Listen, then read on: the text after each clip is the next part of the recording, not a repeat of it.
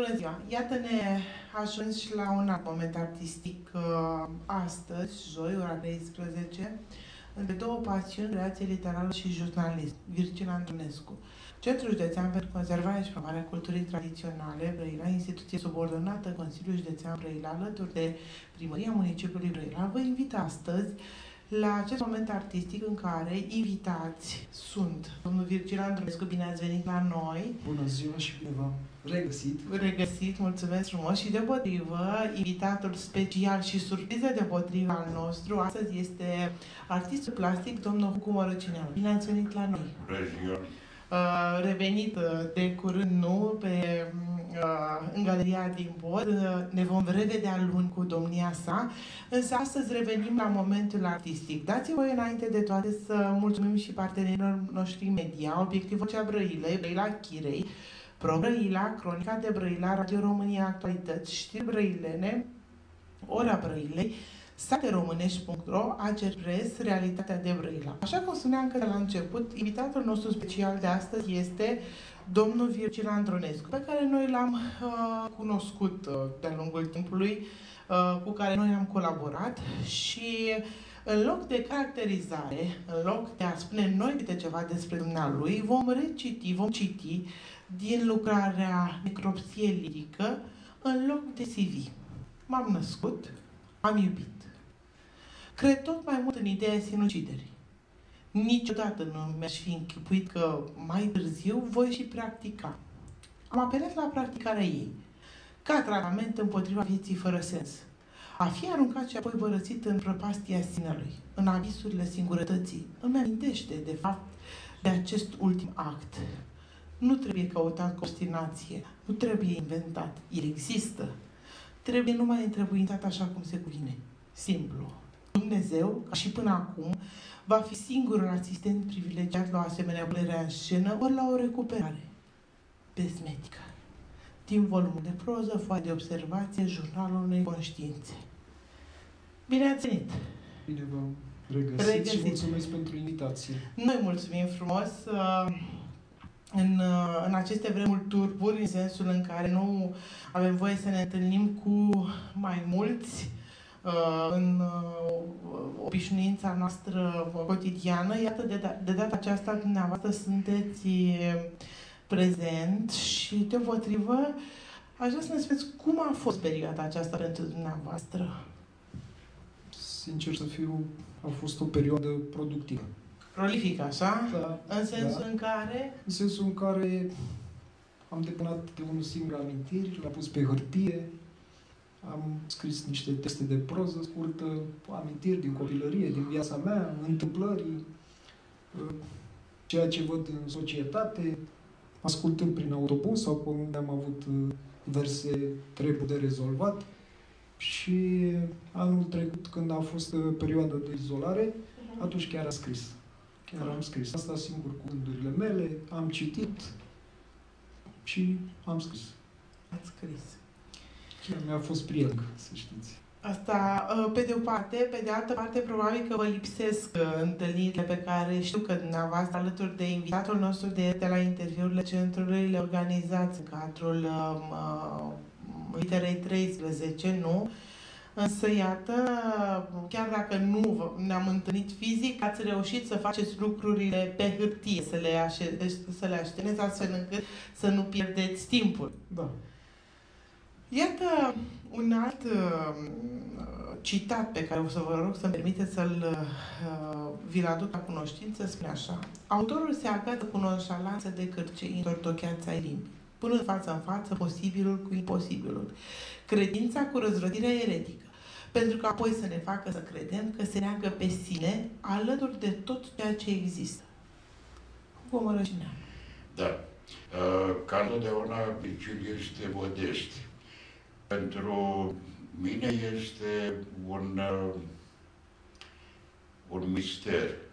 Cum un om care trăiește printre toți ceilalți și îl vedem amestecat în toate problemele de ziaristică, de reprezentare, de oraș, de cultură, cum poate fi atât de abisal, cum poate fi atât de trist, cum poate fi atât de profund poetul are această capacitate de a fi ceea ce gândește. Deci, fiecare din noi suntem ceea ce gândim. Virgil merge până acolo încât își transformă uh, neșansa, durerea, uh, loviturile fizice, le transformă în literatură.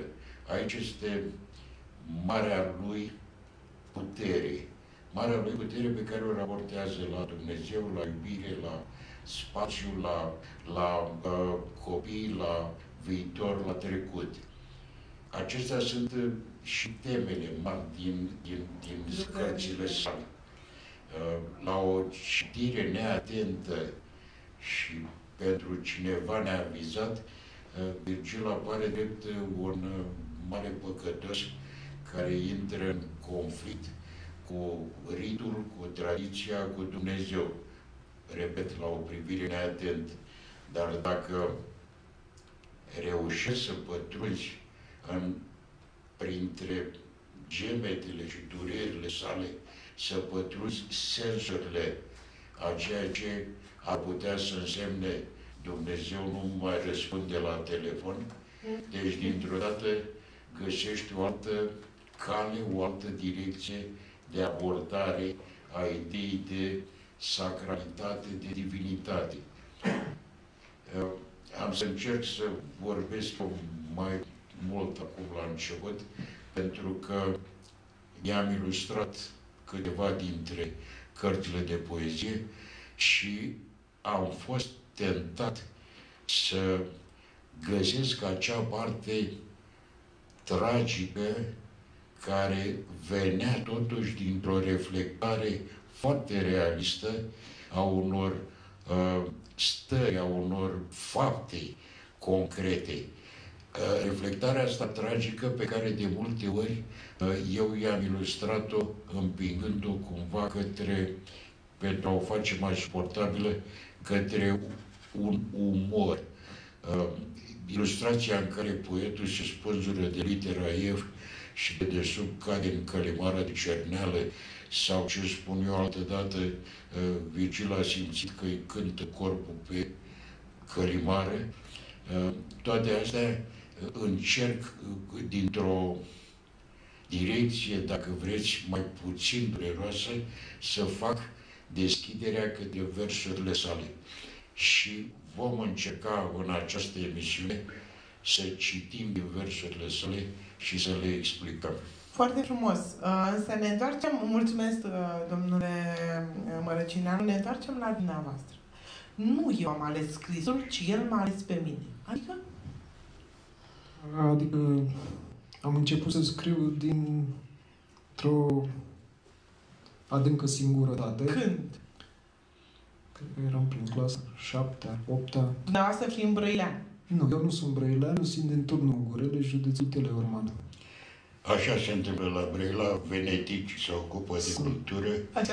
Cu asta Iar despre venetici noi știm o poveste, nu-i așa? Da. Cu asta ne-a, ne lovit totdeauna, da. Dragi, însă va lega ceva.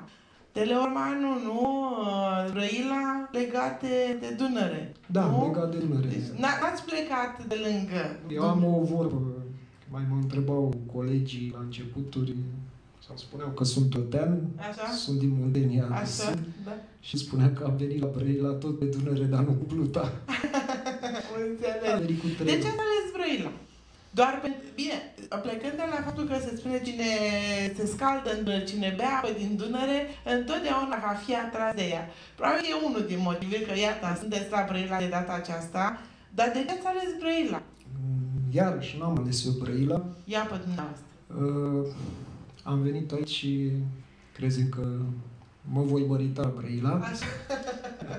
Foarte Și- simplu. Dunărea curgea la vale și de Da. la turnat s-a oprit la Brăila. Așa.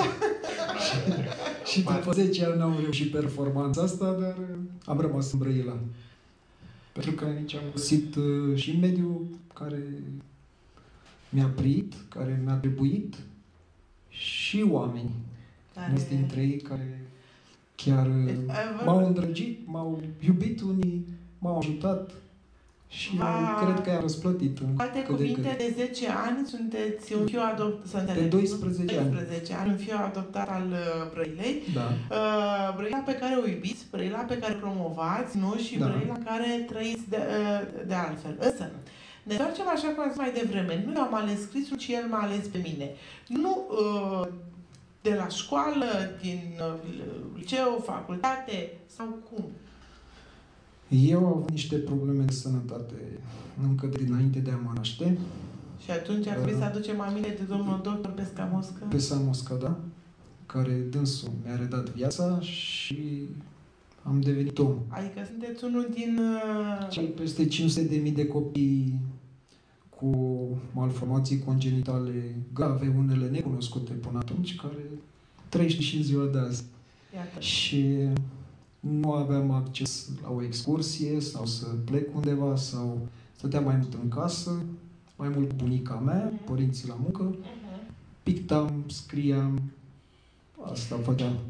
Și deci iată motivul pentru care uh, spun și- și de data asta, așa cum creștem până la șapte ani, așa suntem toată Toată viața. viața. Având în vedere trauma trăită, excluderea dintre ceilalți, uh, neputința de a se încadra În firescul acela al copiilor, Așa, nu? în această perioadă în care el se formează, își formează o lume și spune el, sigur, pierdut, nepriceput, năuc, ai lovit într-un final de bal mascat ca piatra pierzaniei de mine. Multe măști ai mai schimbat până când ai găsit-o pe cea potrivită ție, reală, fără ochi pentru mine, fără cuvinte pentru mine, fără urechi pentru mine, masca perfectă cu care te-ai născut, până la final, cu ea vei trăi ca o pecingine întinsă pe suflet. Balul s-a terminat, cortina atrasă între noi, bufonul a fost izgonit, va muri de plâns undeva departe de tine și de balul tău mascat. Deci, curge poezia direct din ceea ce poetul trăiește. Poetul este ceea ce gândește. Cu toate că pe cai mari cu coamele în vânt ești tu, nu uita că sunt răvași și el n-a uitat niciodată. Totdeauna cai aceștia l-au zbârlit din șap. Da, aminte. Dar se întoarce, nu? Asta e marea... De fiecare dată, de câte ori ești scos în afară, te întorci, ceea ce e cel mai important, dacă mă întrebați pe mine, nu? Să rămâi uh, ancorat în realitate, să rămâi ancorat în, ce, în drumul tău. Nu știu dacă, dacă la Virgil e bine să rămână ancorat în realitate și în foarte multe dintre poeziile sale, el fuge de această realitate, pentru că această realitate pentru el întotdeauna a însemnat durere, a însemnat negare, a însemnat, de-aia s-a și refugiat în nihilismul lui Cioran, Uh-huh. pentru faptul că o lume care nu te vrea, în această lume tu nu-ți poți găsi locul, spune el în 2009. Adevărat? Pleacă și întoarce-te fericit. Un ochi îmi adorme zâmbind, celălalt te privește pe tine. Distanța ne apropie vizual. Al treilea oi te iubește. Deci acel oi din interior, acea parte din interior, acea, acel element formidabil care este euul, care este ego, acela este realitatea lui Virgil. El, el nu poate vorbi în vorbe obișnuite despre această realitate decât în reportaje, în, în, alte, în alte întâmplări. De ce el spune în 2011 să mă duc dracului vreau, lasă-mă, Doamne, lasă-mă în pelin fierbinte, degeaba am tot crezut în cele scrise. Când o sărutam pe piciorul drept, eram un netot. Când o sărutam pe cel stâng, eram un nădânc. Când o sărutam între ele cu patimă și foc, împreună ardeam ca torța de șoc. Deci, atât, până și în iubirea carnală, trăirea devine tot tragică. ajunge. Spuneți-mi, vă rog frumos, cum împletiți jurnalismul cu uh, literatura, cu scrierile dumneavoastră? Eu știu deopotrivă că sunteți și un uh, Da. Influențează în vreun fel? Nu. Sub nicio formă. nu. Nu. Care dintre uh, lucrările noastre, uh, volumele noastre, îl considerați cel mai important? Semn și cuie. Ah, Ultimul publicat. semne și cu stați așa. Păi atunci vă provocăm să ne spuneți și de ce. Ăla, mă, la mă, la mă, la aici e. Uite-l aici. Ah, Și aici este strict Mihai Vintilă. De ce domnul Andronescu? Deși, de Pentru fapt, că- așa vă numiți dumneavoastră sau e Nu, numele meu din buletin este Andronache Virgil Nicolae, iar în urmă cu vreo 13 ani de zile au fost iubit, a zis că e mai bine să semnez cu Andronescu, sună mai bine. Și Escu, atunci- nu? Da. Așa, și de atunci am uh, semnat uh, cu Andronescu. am înțeles. Și de ce aici strict Mihai Vintilă? Pentru că Nu e singurul volum pe care am da, observat. sunt, uh, am uh, aceste ultime exemplare, iar Mihai Vintilă mi-a zis la un moment dat și mi-a mai repetat, și bă, dacă tot uh, s-ar întâmpla să dai colțul, zice, Așa. lasă mie cărțile. Și atunci mai am stări dintre astea în care... Și pune și de ce sunt ultimele exemplare. Tirajul pe care poate Tirajele sunt foarte mici. foarte mici, pentru că noi facem artă pe barba noastră. Și atunci, într-unele momente mai grele pentru mine, chiar m-am gândit, zic, păi chiar vorbește bine Mihai și lui le pot lăsa Ca să... pentru că se pricepe la carte, pentru că are o editură, Și pentru că suntem cu toții în mișcare litera 13 Revista Manifest, să Da. înțelegem. și da. este Vă rog frumos, citiți-ne De și încredere. nouă, motoul uh, cărții, Da. ultimul volum pe care dumneavoastră preferați. poezie pulsatorie. Cu fiecare zi trăită, viața mă obligă să-mi asum o alegere.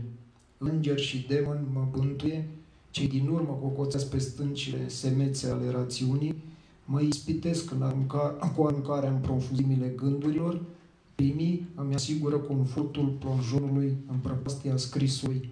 Zbaterea poeziei mele se manifeste pentru, precum pulsul cordului fetal în pântecul unei mame.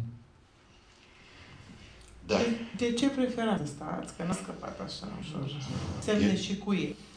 Semne și Semnele cuie. Plecând de- rămân sau cuiele? Nu, semnele rămân, iar cuiele, metaforic vorbind, provoacă aceste semne. Da, da, pot fi Aceste- scoase, nu? Pot fi scoase, dar semnele tot rămân, rănile tot rămân. Cuiele reprezintă acele situații mai negre, mai gri, mai grele din viața mea, care au lăsat niște urme.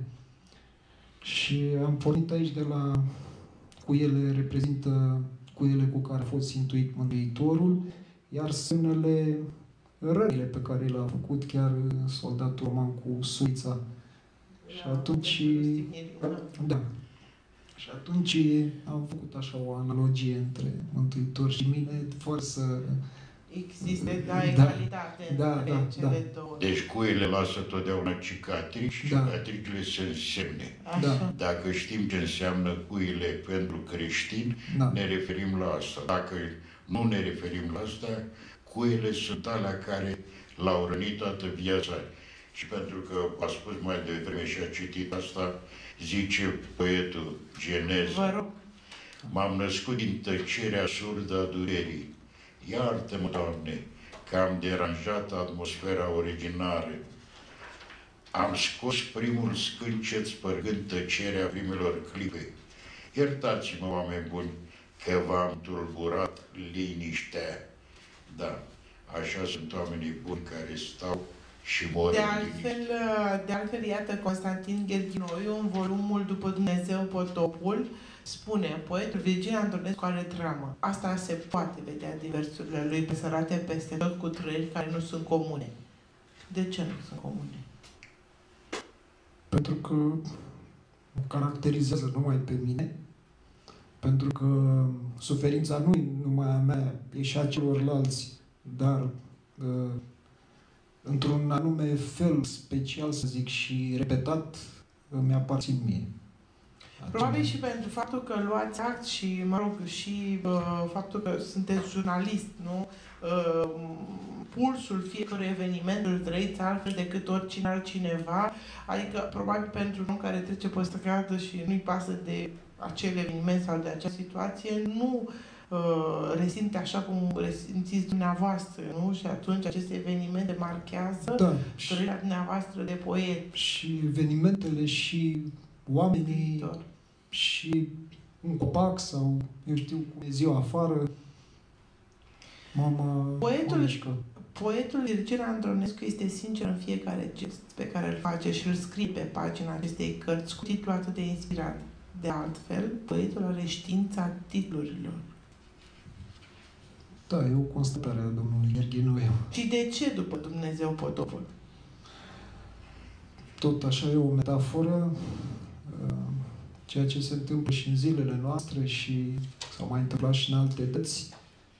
Pentru mine sau l-a ridicat la o scară a potopului, care urmează după Dumnezeu, adică după lipsa sau, eu știu, împuținarea credinței oamenilor în Dumnezeu.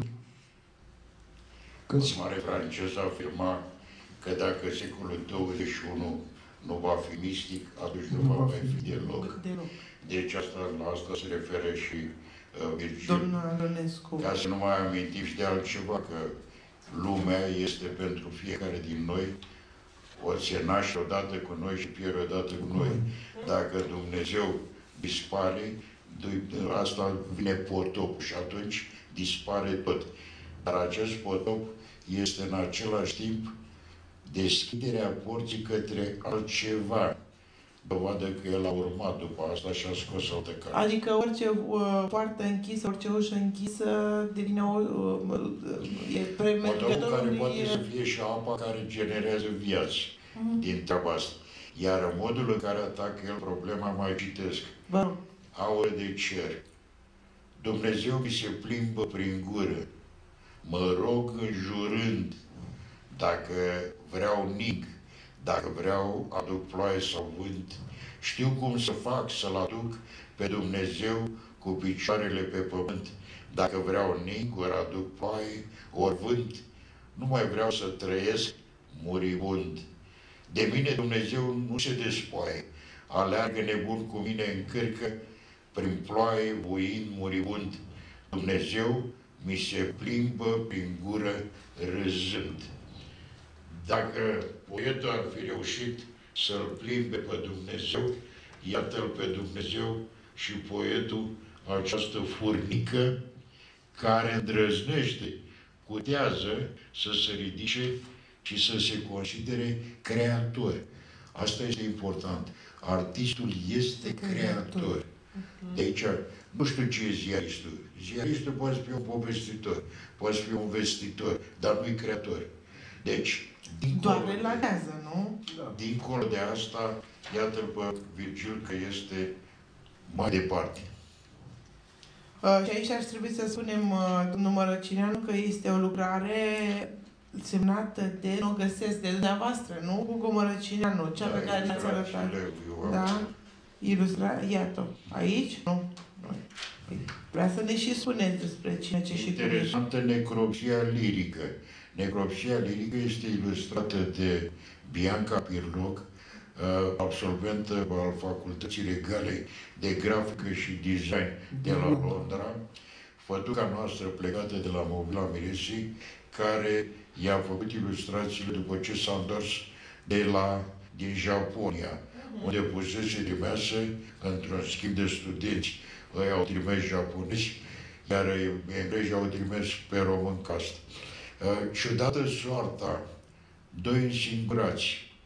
El, un însingurat față de toți, ea pecată în lume și iată cum se întâlnesc cât de bine în această necropsie lirică. Ciudat la, la Virgil această îmbinare de cuvinte imposibile. Necropsia se referă la făcut autopsia asupra unui mort. Un cadavru. Da, Utilirism în toată treaba asta. Dar cât de straniu și de frumos sună. Necropsie lirică. Deci, atât creator de ciudățenii. Și totuși nu este creator de ciudățenii pentru că Pentru Virgil Antonescu, nașterea și iubirea sunt pedepse capitale. O poară greu de dus de un trup pe pânt în căutarea sinelui care îl alungă. Adică? Adică cine, cu mulți ani în urmă în liceu, doamna profesoară Moldovan, care făceam psihologie și filosofie, într-o zi mi-a zis ce Virgile, tu nu ești făcut pentru lumea asta. Și m-a întristat puțin, m-a durut, m-a... Și apoi am stat da, și m-am gândit... până la urmă să ți se da. spună, nu ești făcut pentru... Se referea la faptul că totuși am trecut prin multe probleme de viață și am răzbătut totuși. Da. Sunt uh, un supraviețuitor, să zic. Da, probabil că scrisul vă, vă ajută, nu? Cel mai mult. De-a lungul timpului. Cel mai mult mă ajută scrisul. Acolo scriu supărările, eu știu, gândurile către mai bine, și iar dorințele. În, în acest sens am în față uh, o particulă de sânge. Sânge din sângele meu s-a scurs spre stropii unei ploi la început de primăvară, dinspre pământ spre cer, Dumnezeu a prins-o în palma sa și a mai făurit o stea. Da, este o poezie dedicată celui mai mic frate meu care a decedat acum șapte ani. Iar în acest uh, volum uh, se mai am încă două poezii dedicate, dedicate fratele meu Vasilică, iar acum de curând uh, s-a ridicat la cer și mama mea și la puțin timp după asta încă un frate. Da. Dumnezeu te odihnească, să iată, probabil că și aceste, și aceste uh, drame, noi, să zicem, se vor regăsi probabil în lucrurile Într-un viitor volum, dar ce vreau să spun aici că, da, hârtia e singura care mă înțelege și cu care pot comunica. Căci în ziua de azi e mai greu să te înțeleagă cineva, fiecare cu problemele lui, fiecare... Deci Doar... aliatul numărul unu numărul este, unu este hârtia. și pixul, deopotrivă Hârtia, care... pixul și Dumnezeu de sus, atât. Și atunci artistul rămâne totdeauna să sap în el. Am să citesc necropsia lirică. Asta pentru că domnul Hugo Mărăcianu nu ne iartă. Vă rog. Viața mea e un perpetu tangaj. Asta a spus el la Dineura. Pentru a nu mă pierde întru totul, m-am lăsat pe mine însumi gaj, păstrându viu numai hoitul. N-am renunțat la mine, doar m-am negat. Cuvântul mi-a fost dat într-un Dumnezeu, precum o rege fără regat, am murit puțin câte puțin ca un zeu. Peste timp, chiar în vremurile noastre, critici nemiloși mi-au disecat măruntaiele putrezite în albastru, descoperind dureri și dezastre. Măruntai, măruncișuri organe literare, împietrificați de grav alabastru. Deci, Dumnezeu i-a dat ceea ce este forța Lui, cuvântul. Deci, aplică foarte clar, la început era cuvântul, cuvântul era la Dumnezeu și Dumnezeu era cuvântul. Da. Deopotrivă, iată, mergând mai departe, un alt uh, publicist, poet, Tudor Mateșu. Da, este primul meu mentor uh, din Tulmăgurele, Petru Matreșu, în comuna Lita, o comună limitrofă Turnului. Uh, spune așa, Rătăcit într-o sine, labirint de neliniște, încearcă să creioneze tabloul existenței concrete, pe care îl trăiește ca un actor fără șansă, jucându-și rolul de permanent îndurerat. Totul, vis-a-vis de ce, ce se petrece în jurul său, căutându-se continuu între sine și vis, fără alb.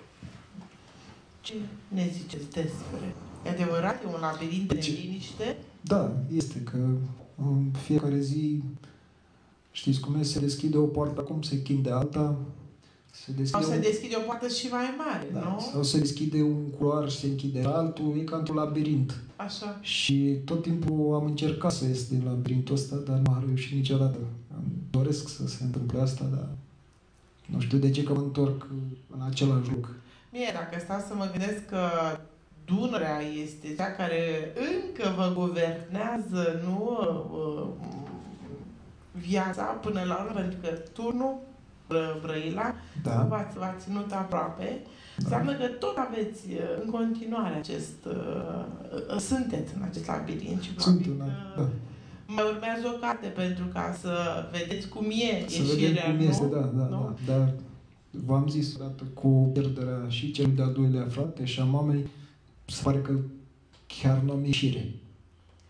Da, probabil că sunt foarte recente și de Da. aceea ne spuneți, e, ne întoarcem la domnul Mărăcineanu. Ca să uh, explic ce a spus, eu explic cu ce spune el. Sărut franțuzesc. Tristețea mă sărută pe gură, mă mângâie pe ochi încă de la plămădire. Nu mă pot desprinde de ea, de balele ei, nici dacă îmi șterg cuvintele și grimasa și privirea. Și vai cât de iubit sunt. Se vede, nu așa, cu fiecare sărut. Deci, modul în care poetul se adresează și marea artă este, nu ce spune el, marea artă este ce înțelegem noi. Poetul vine și ne anunță, mi-a dat Dumnezeu trup atât cât să încap în el numai suflet. Da, e un anunț care pare banal.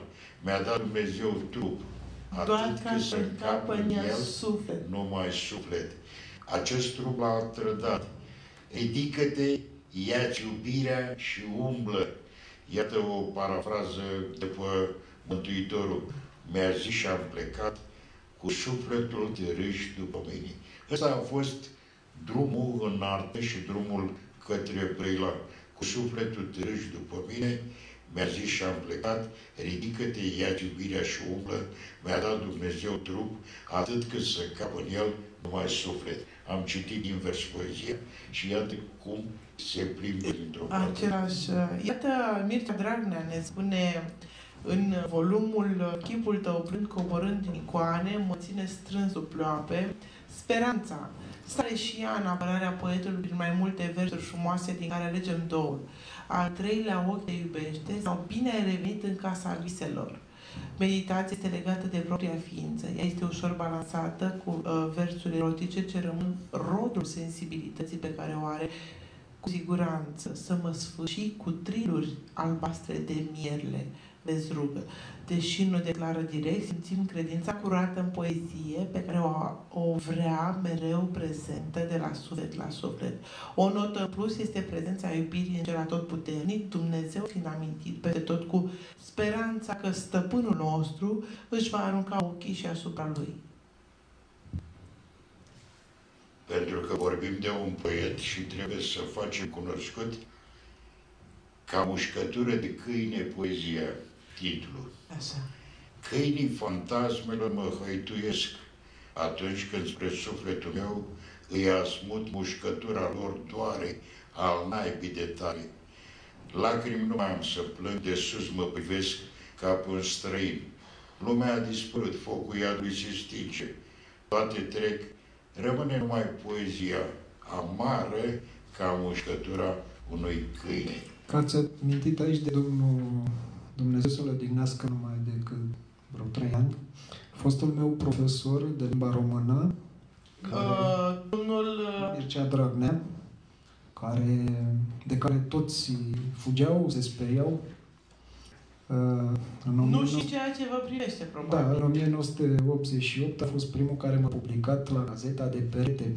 După ce m-a prins să scriu niște așa, versuri, poezii, în fine, în loc să fiu atent la dumnealui, m-a chemat la catedră, într-o sală, într-un amfiteatru, la Așa. liceul de chimie, într-un Murele, și a citit uh, ce scrisesem acolo și bine că înțeles că m-a ironizat, au râs colegii și de atunci toți colegii strigau prin școală, bă, băietule, da? dar uh, m-a chemat la cancelarie și mi-a cerut uh, să-i dau poeziile ca să le... Și a doua zi erau publicate la Gazeta de Perete care se numea Ecouri Dunărene, Urma să vă revista întreb, iată, și orașului acum.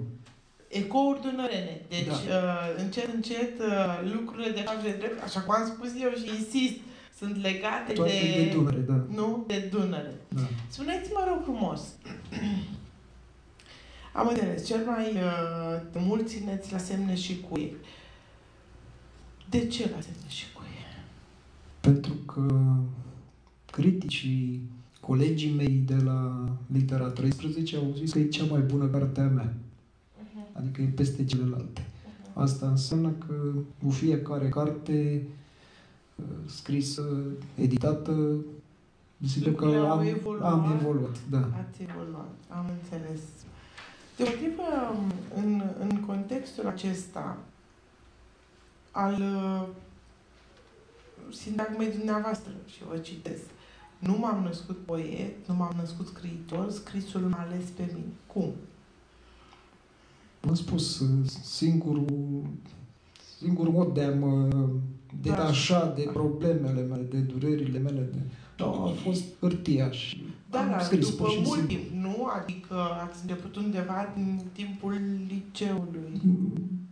Din timpul școlii generale, dar în timpul liceului, domnul Dragnea, cum am spus, A uh, fost cel care da, v-a, care m-a- v-a descoperit. da, care m-a descoperit și apoi domnul Matreșu, care Care sunt personajele uh, lucrărilor dumneavoastră? personajele, păi, Eu știu, dar vreau să ne În, spuneți uh, dumneavoastră. în cărțile de poezie, personajul principal sau central sunt eu, euul meu. Mhm. Așa și restul lumii, întâmplării, Dumnezeu, chiar și diavolul, ce are lo- rostul lui și locul lui acolo, câteodată îi sunt avocat. Ați trecut cam repede în altă direcție, Da. uh, apropo Păi- de ceea ce vrea poetul în continuare. Să aflăm, iertați-mă, să aflăm și Deci el vrea, câte să, ceva vrea despre. să scoată în continuare o antologie. A- Simte că a venit momentul să vadă de la cap la coadă ce și cum. Deci așteptăm să se întâmple o revoluție. Această antologie, că eu glumeam și spuneam, zic, da, faci ca Olteanu, îți pui căciula în față și o judeci. Deci ăsta este modul în care el încearcă să treacă mai departe, să, să judece tot ceea ce a făcut. De altfel, se judecă tot timpul. Sunt singur, Doamne, singur până și Tu m-ai părăsit. Prăbușitul s-a cerul în mine, sunt singur, Doamne, nu mă scoate din ispită, părăsește-mă coasa ei. Cum să spun, acest strigăt abisal, nu mă scoate din ispită, părăsește-mă coasa ei. Vorbim de un poet original, vorbim de o, de o voce clară, uh, netributară nimănui. Uh, Vorbim de o poezie care, Consecventă, nu? Până o la poezie care curge cistit și onorabil. Spun eu undeva că e o poezie bă, uscată, ușoasă, uh, golită de rime, golită de, de tot felul de, de floricele, de, nici nu are nevoie de așa ceva. Uh, Sentimentul uh, acesta de abisalitate, uh, citit așa pe deasupra, zicea, bă, ca multă tristețe. Nu-i tristeți, e acea gândire profundă, e acea încercare de a, de a penetra într-o altă lume. Uh, Dacă vreți, e un fel de Rilke, dar altfel. Rainer Maria Rilke, care încearcă cu liismul german să treacă în alt domeniu. El, el încearcă cu toate cuceririle limbii române, trecute și prin Stănescu, trecute prin mulți, dar este el. Se simte undeva căldura pământului din Vlașca, Așa. îl simți pe undeva pe stelarul, simți înclinarea lui Voiculescu către, către prăbușirea interioară, dar e el, e ca el. Asta, asta am, am ținut cu totdeauna din sus să subliniez. Virgil este o voce clară și este un poet autentic. Și A, altfel n-ar fi fost aici cu noi astăzi, nu? Și nu ar fi avut astfel de lucrări pe care, iată, dumneavoastră, cu mare delicatețe ni le-ați adus în față prin, uh, prin faptul că ni le-ați citit. Vă rog. completând uh, ce a spus uh, domnul Mărăcineanu, um, eu cred că poezia trebuie scrisă cu sinceritate. Uh, E ca și atunci când te duci la preot și Despot. despovedești, așa fac eu cu hârtia, foarte sincer.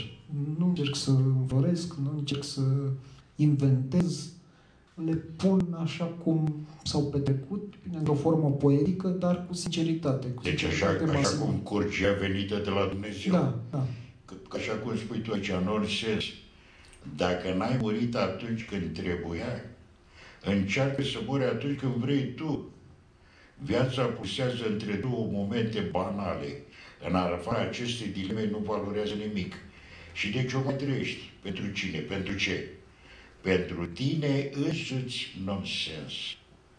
Deci, ce spuneam despre abisalitate, despre adâncime, despre... Iată până unde poate să se miște, da. Dar, deopotrivă, domnii sunt domni, adică dumneavoastră mergeți și e adevărat către acea parte ternă, spre acea parte serioasă. Însă eu am aici un alt uh, volumul uh, după Dumnezeu Potopul, prima poezie, să știți, uh, e așa, moto. Mântuirea mea, credința în Dumnezeu și în frumusețea interioară a femeii. Viața m-a izbit din nou de toți pereți. Cenușiul lor m-a înjunghiat mișelește. Cât, Doamne, voi mai rătăci prin lume, lăsându-mi în fiecare loc, în fiecare inimă, cât o felie de suflet, în căutarea fericirii. Cât, Doamne! Și e da. foarte frumos mesajul. 2010-0209, Mihaela e ce cu dragoste. Da, este femeia pentru care am venit în Brăila. Ha, vedeți că știu. Da?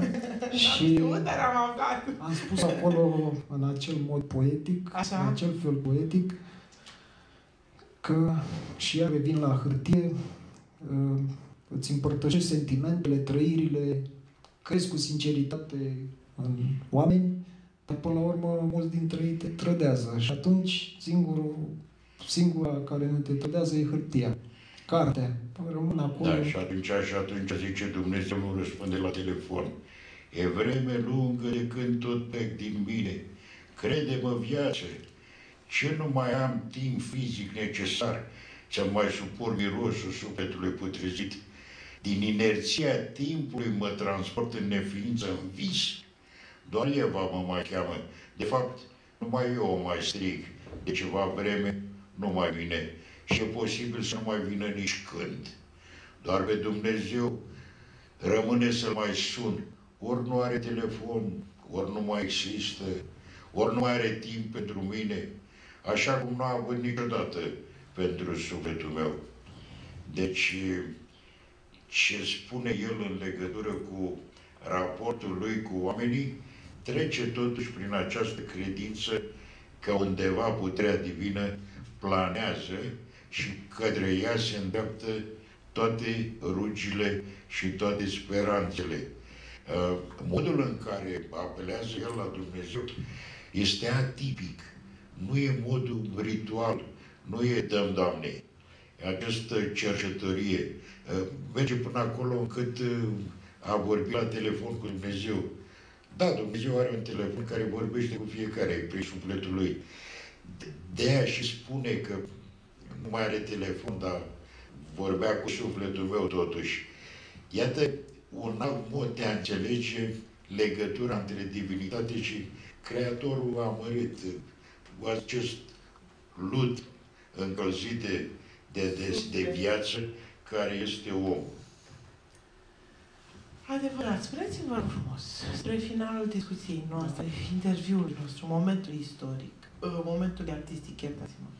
Uh, care e mesajul pentru uh, copiii de astăzi care scriu? Da. Care e mesajul pentru cei care ne ascultă astăzi? Păi, mesajul pentru copii este întâi să citească și cei care au talent, care simt că au talent, să apuce de scris, care nu au talent, nu.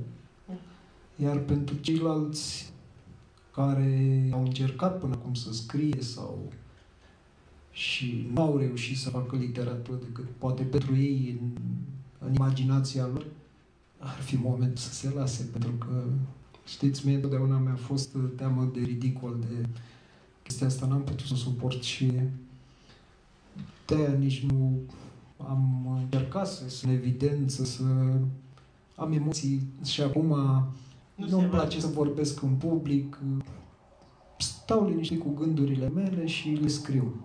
Mesajul dumneavoastră ajungând la noi prin cărțile frumoase pe care dumneavoastră da, le prefer așa. Domnul Mărăcineanu, un ultim cuvânt, vă rog, despre scriitorul Virgil Andronescu.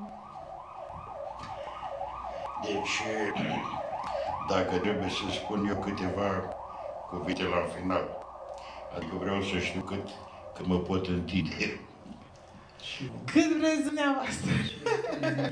Da. Vă rog. Având în vedere că mulți vor zice că prietenia mea cu Virgil și, nu știu, prietenia mea cu Virgil se bazează înainte de toate pe o trăire în comuniune.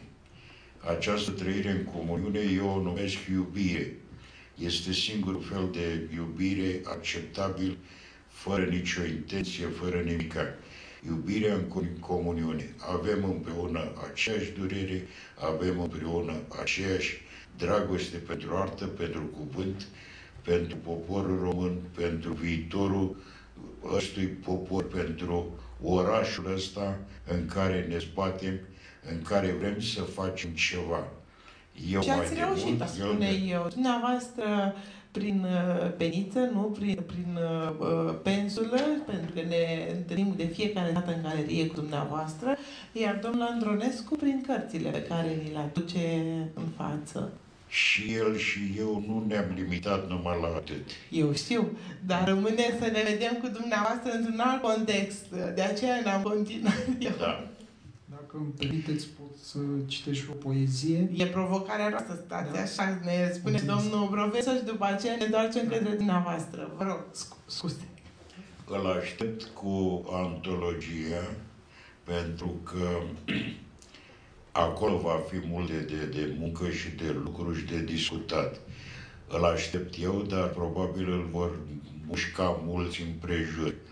Această antologie sper să fie... E de bine, dacă îl vor mușca. Nu știu. Pentru că orice rău depinde, sau... depinde cine mușcă. Dacă mușcă cu încredere ca dintr-un măr sau mușcă ca o viperă cu venin. Adevărat. Deci noi acceptăm mușcătura celui care vrea să creeze, să te ajute, dar, mă rog, asta e situația. Deci îl aștept cu Nerăbdare cu antologia. Deci provocarea noastră era, așa cum am spus mai devreme, deși noi pregătisem ceva, dar cred că cel mai frumos ar fi să vă ascultăm pe dumneavoastră, citindu-ne dintr-o carte, recitând dintr-o carte de dumneavoastră. Vă rugăm. Am să citesc uh, poezia în regeneză și potop, din uh, volumul Semn și Cuie, publicat la editura Infoest. Eva nu a mușcat din măr, așa cum se vorbește prin dârg, și a lepădat doar pielea de șarpe în poșeta de firmă. Nici șarpele nu a existat în forma sa biblică. Peste vremuri, doar Newton i-a căzut un mar pe cap, devenit primul bărbat care s-a trezit la realitate. Din ziua Z, nu se mai roagă, doar cugetă și cugetă. Eva s-a îmbrăcat o frunză de viță nobilă și a fugit cu un alt fel de Adam, tăinitor de adevăruri filosofice, pervertite în pseudo-adevăruri teologice. Așa au trăit, pe malurile unui fluviu învorburat de, de ideologii, adăpându-se cu doctrine, de atunci a început el să poarte papion, frac și pantofi de catife, îmbrățișați, ascultând cerul, și-au unit viețile. El, donator onorific de oastă, ea, primitoare de lux, începând să-și debene iluzii despre viitorii urmași, numiți Cain și Abel, citați de cronicari într-un răsunător proces de conștiință. Istoria umanității ne dovedește că au trăit fericiți ori nefericiți până în zilele de după potop. Postscriptum Într-un târziu, Adam s-a sinucis. Încă din fașa naivității sale, Eva trăiește bine mersi. La treaba asta adăugam eu când vreau să deschid o expoziție în care am Adam și Eva, două bazoreliefuri uriașe și în care vreau să-l citesc că poetul spune că Eva și-a făcut geantă din pielea de șarpe la care eu spuneam sau poate a plecat în străinătate la muncă sau poate că acolo a plecat după altceva. După altceva. Iată, ne ajuns la sfârșit, la finalul întâlnirii noastre de astăzi. Mai aveți ceva pregătit? Astăzi de dimineață, da. venind în drum spre domnul Mărăgineanu și spre dumneavoastră, am notat un gând. Recunosc, am primit atâtea defecte din partea vieții, și atâta daruri de la Dumnezeu încât să devin homo authenticus. Foarte frumos. Eu știu de dimineață l-am văzut. E până la urmă cea mai bună caracterizare a dumneavoastră, nu? Și până la urmă vă reprezintă. Mulțumesc încă o dată pentru că ați acceptat invitația noastră. Și eu vă mulțumesc Vă mulțumesc, domnul Mărăcinean, pentru că ați fost invitatul surpriză, special, iarăși de, de la momentul artistic. Centrul Județean pentru Conservare și Promovarea Culturii Tradiționale Brăila, instituție subordonată Consiliului Județean Brăila, alături de Primăria Municipiului Brăila, v-a oferit momentul artistic de astăzi în prezența scriitorului Virgil Antonescu. Mulțumim, pe data viitoare!